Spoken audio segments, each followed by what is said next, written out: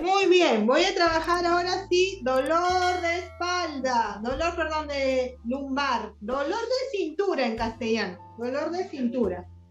Y el cliente viene, lo miro, tiene una panza que tiene como 20 kilos de sobrepeso y te dice, me duele la cintura. un montón de gente es así. Viene y te dice, me duele la cintura, no sé por qué me duele la cintura. Y tiene su barriguita como si estuvieran embarazados.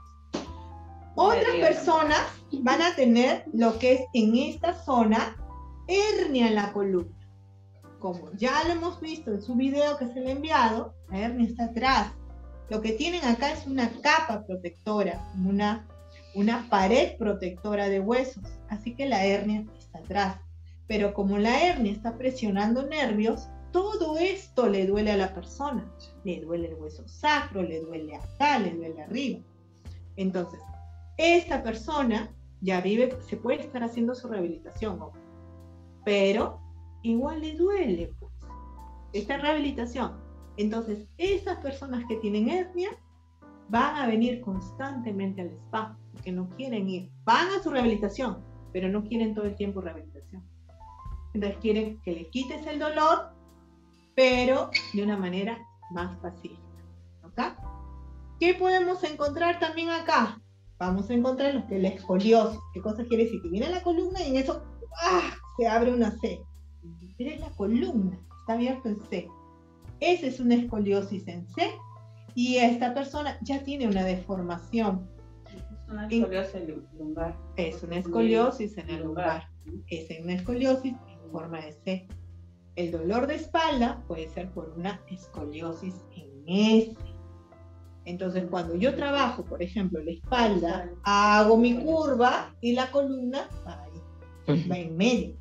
Es como una carretera, ¿no? Y yo desvío mi mano, pero tengo que respetar. Por eso siempre hago el reconocimiento de la zona de la columna.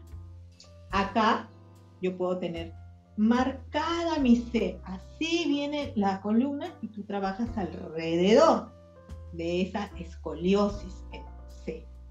Esa escoliosis en C va a hacer que el cliente sea un cliente de años. Si le trabajas bien, se va a quedar años contigo. Hay gente que tiene hernia en la columna, pero tiene cinco hernias. Dos acá, dos arriba, ¿Los hernias son visibles? No, son visibles, vuelvo a decir, la hernia está detrás de todo esto que tú tocas. Esto es como una pared protectora. Las vértebras están detrás de esa pared protectora. Y entre las vértebras es donde se forma la hernia. No es visible, no vas a poder tocarla. La única indicación es que esos estiramientos que hemos hecho ahora no le haríamos al cliente que tiene acá no se lo hacemos porque tiene hernia. Pero si no tiene hernia, lo estiras, no hay ningún problema. Ok, entonces, eh, ¿quién, ¿quién más va a tener dolor de cintura? Las embarazadas.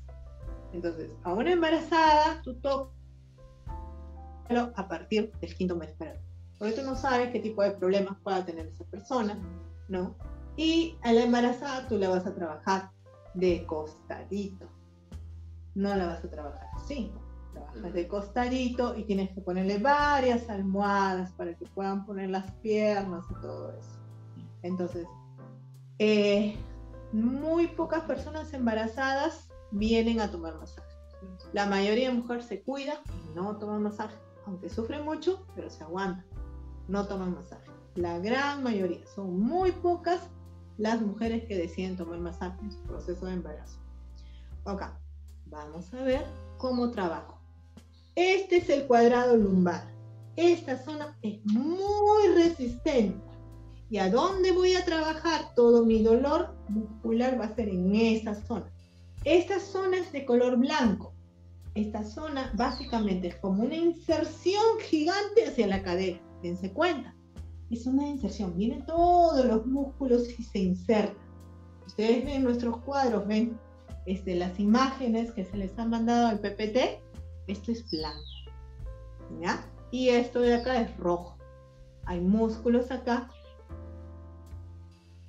Por ende, por eso que es duro.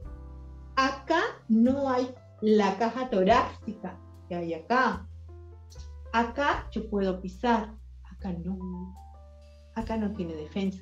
Por eso que al no tener defensa, igual que el cuello, cuando hay accidentes, el carro frena y tú te vas hacia adelante, ¿quién es el que sufre? El que no tiene la capa protectora.